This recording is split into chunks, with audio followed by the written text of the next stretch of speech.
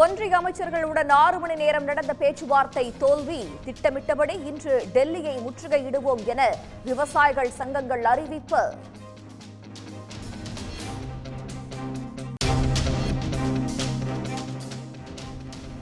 விவசாயிகளின் டெல்லி முற்றுகை போராட்டத்தை ஒடுக்க ஒன்றிய அரசு தீவிரம்.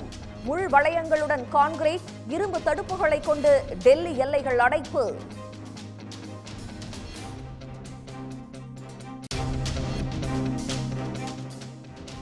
ஆளுநரின் செயல்பாடு மரபு மீறிய செயல் என பல்வேறு கட்சித் தலைவர்கள் கண்டனம். தமிழ்நாட்டு மக்களை தேசிய கீதத்திற்கு எதிரானவர்கள் போல சித்தரிக்க ஆளுநர் முயற்சிப்பதாகவும் குற்றச்சாட்டு.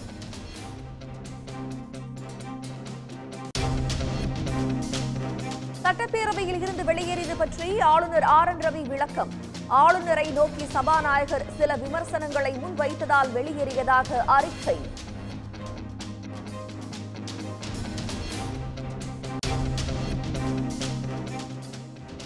வெற்றி துரைசாமியின் மறைவுக்கு பல்வேறு அரசியல் கட்சி தலைவர்களும் இரங்கல். எந்த ஒரு தந்தையும் எதிர்கொள்ளக்கூடாத துயரம் இதுவென முதலமைச்சர் மு ஸ்டாலின் வேதனை.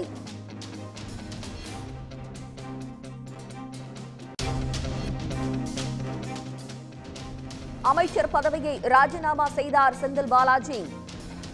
உண்மை நிலை பெற சட்டப்பூர்வமாக தொடர்ந்து போராடுவேன் என முதலமைச்சருக்கு கடிதம்.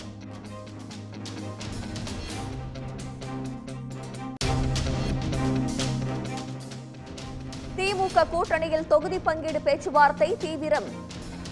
ஐயுஎம்எல் விசிக கோமதேக்க கட்சிகளுடன் சுமூகமான பேச்சுவார்த்தை.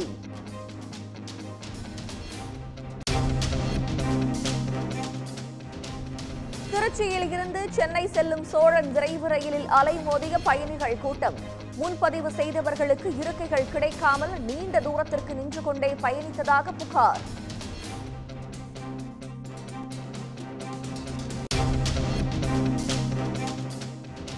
திண்டுக்கல் மாவட்டம் நிலக்கோட்டை அருகே அடுத்தடுத்து ரயில்கள் மீது தாக்குதல். தண்டவாளத்தில் ஜல்லிக்கற்களை குவித்து கவிழ்க்க முயன்ற கும்பலுக்கு போலீஸ் வலைவீச்சு.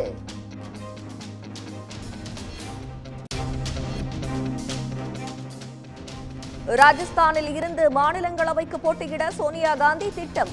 மத்திய பிரதேசம் தெலுங்கானாவில் இருந்தும் போட்டியிடுமாறு காங்கிரஸ் தலைவர்கள் கோரிக்கை.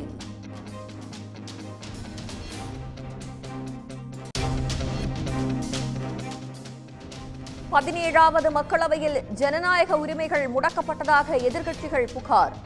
சுதந்திர இந்திய வரலாற்றிலேயே மிக குறைந்த நேரமே விவாதம் நடைபெற்றதாகவும் குற்றச்சாட்டு.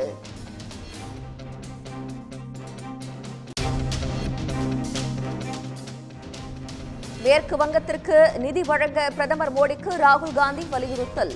நூறு நாள் வேலை திட்ட ஊழியர்களின் அவல நிலையை சுட்டிக்காட்ட விரும்புவதாக கடிதம்.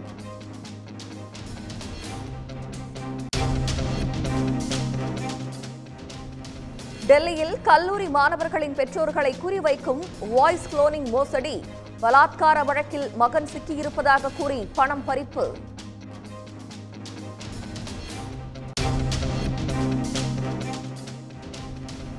பறக்கும் எலக்ட்ரிக் கார்களை தயாரிக்கிறது மாருதி சுசுகி நிறுவனம். மூன்று பேர் பயணிக்கும் வகையிலான பறக்கும் காரை அடுத்த ஆண்டு சந்தைப்படுத்த திட்டம்.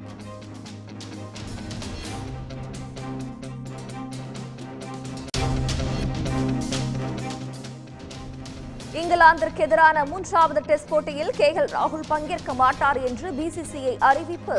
கே எல் ராகுலுக்கு பதிலாக தேவ்த படிக்கல் அணியில் சேர்ப்பு.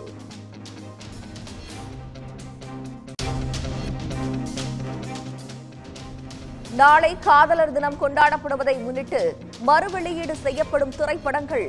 தொன்னூற்று ஆறு வாரணமாயிரம் மின்னலை விண்ணை தாண்டி வருவாயா படங்களை மீண்டும் திரையரங்குகளில் காண வாய்ப்பு. உடனுக்குடன் செய்திகளை தெரிந்து கொள்ள சன் நியூஸ் பெல் ஐக்கான கிளிக் பண்ணுங்க.